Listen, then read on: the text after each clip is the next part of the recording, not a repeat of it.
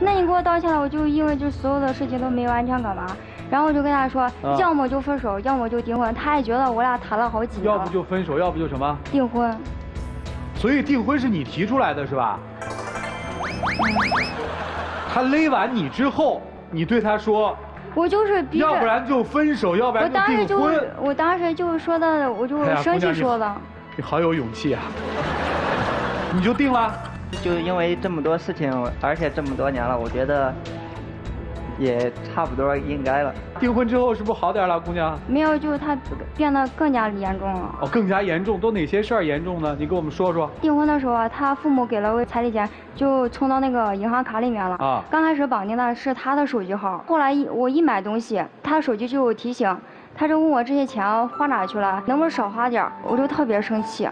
那这个我肯定要管。订婚的彩礼钱本来就是我家里借的，就不是我家的。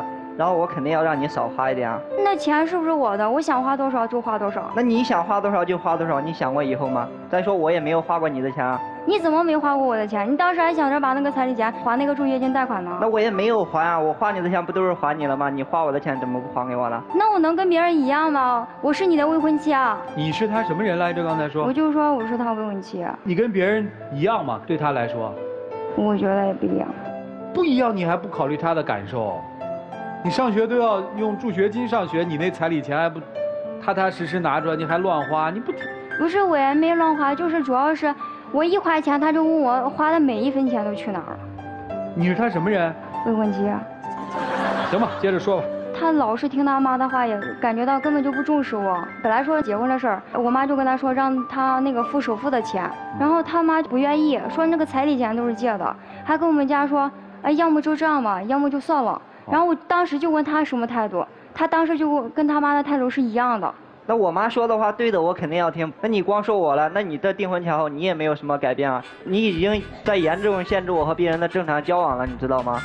就有一次吧，我带了一个高二的女生做家教，然后她知道了可好，直接给那女生家长打电话说，哎，不要让我男朋友去带了，你你说这让人怎么理解？他还跟那个女生，你说带家教怎么跟他聊的那么好？他不是他学生吗？但是他妈那时候给他电话，哎，要不那个什么，我对你看的挺好的，呃，觉得你这个人挺好的，还说，哎，要不科是不是再给你加一点？然后我就觉得这是招上门女婿嘛，就说话说。他觉得是在招上门女婿。哎呀，这小醋坛子啊！所以今天你们俩来是干嘛的？我就想看能不能改变他。你来干嘛？我就觉得他做事儿有点极端，没有给我足够的空间，所以我也想让他做一些改变。行，我来问几个问题啊。如果他把彩礼退给你，分手可不可以？不分。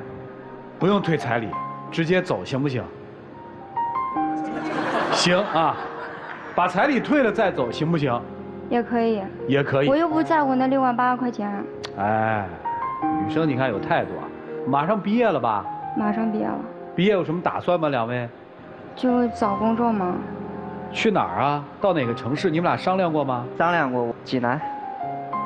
商量好了？嗯。去济南，达成一致了？是。啊。工作开始找了吗？嗯。找到了吗？找到了。你们在异地的时候，一个星期见几回啊？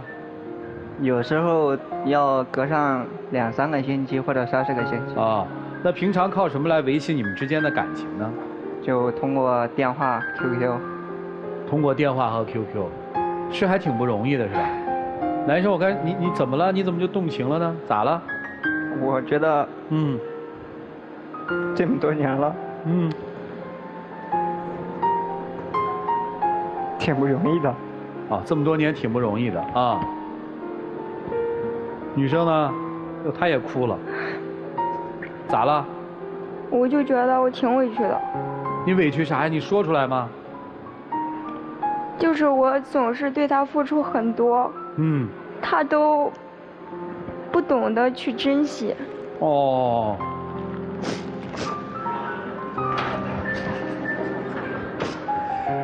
这这就叫冤家，我跟你说啊。